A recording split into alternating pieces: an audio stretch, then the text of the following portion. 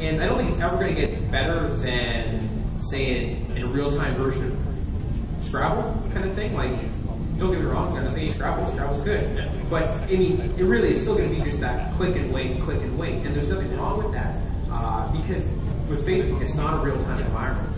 And most people do not have enough friends playing games, especially at any given time, to, to be able to do the real-time environment. And that's fine. I mean, Zynga's done a great job. I mean, you can't complain. You look at something like Frontierville, and yeah, they make their friends valuable, and you actually care to help your friends, your friends help you. So to say that, I think to say that the social component isn't really part would be uh, kind of an injustice to Zynga, as much as I can say that.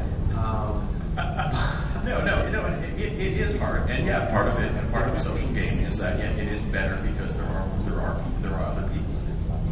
Yeah, it's it's like a dance club. It's better for people. It's better. That's yes. Right now, the games aren't essential that it's social. They're just better.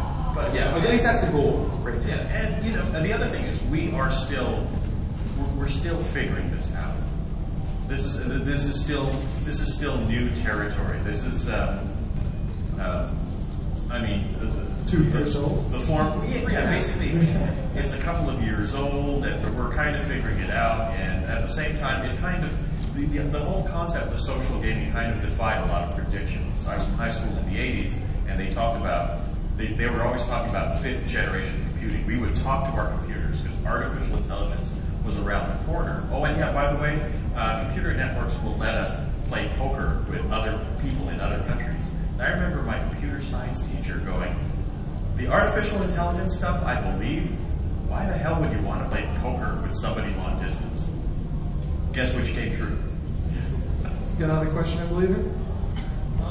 Was kind of uh, wondering, because you guys are touching on Facebook very exclusively, and I know that's what you kind of find as social games. However, when I think of a social game, I kind of look at the ideas of the virtual world, which uh, I forget professor.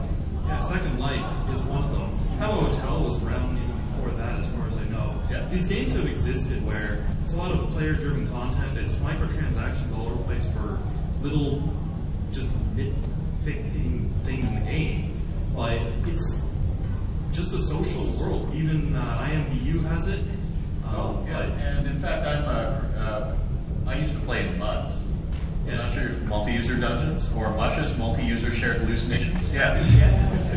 I think, I think the issue here is, is not that we don't believe it, that, that's a great social gaming experience, but it's gonna cost you a lot of money to build that product. Well, I think was the term social gaming used to reference those products in the day.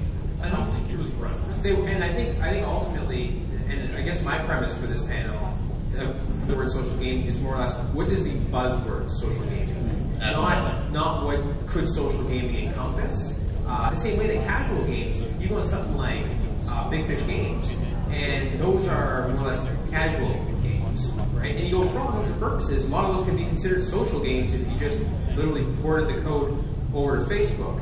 But they they're not because they're on Big Fish Game. It, it, it's semantics, but I think it, for this panel, it's more or less what's the buzzword social gaming. I could be wrong. That's There is a reason why I brought those up, though. Is Sure. there the stuff that you're seeing on Facebook isn't new at all. Um, more specifically, MSN Games had games that were casuals that were being played socially between other players.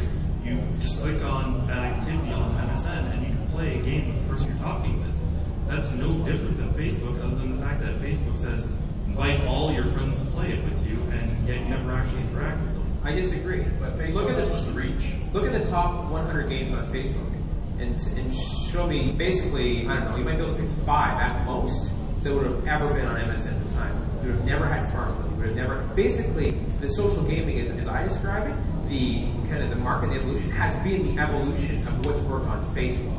Uh, and that would have, not saying it couldn't have ever worked on MSN, but just the circumstances, the situation, and all sort of evolved into what it is today. And there are different types of games. And while they're very similar from an outside observer, the, the mechanics, the way they're monetized, all those are just very specific to their genre. I mean, you look at MySpace, and there's different types of games on MySpace that are popular than on Facebook. Never mind almost a drastically different platform, which isn't a social network at all. But I think what he's saying, but, but, but he is pointing out that there is sort of a definite lineage from those games. Like Even Facebook games Farmville, themselves, absolutely. Farmville borrows, is, you know, from Sims, which borrows from the old uh, command line basic game Hammurabi in the end. Just, you know, the same way Mortal Kombat is Everything really rock, paper, scissors in disguise.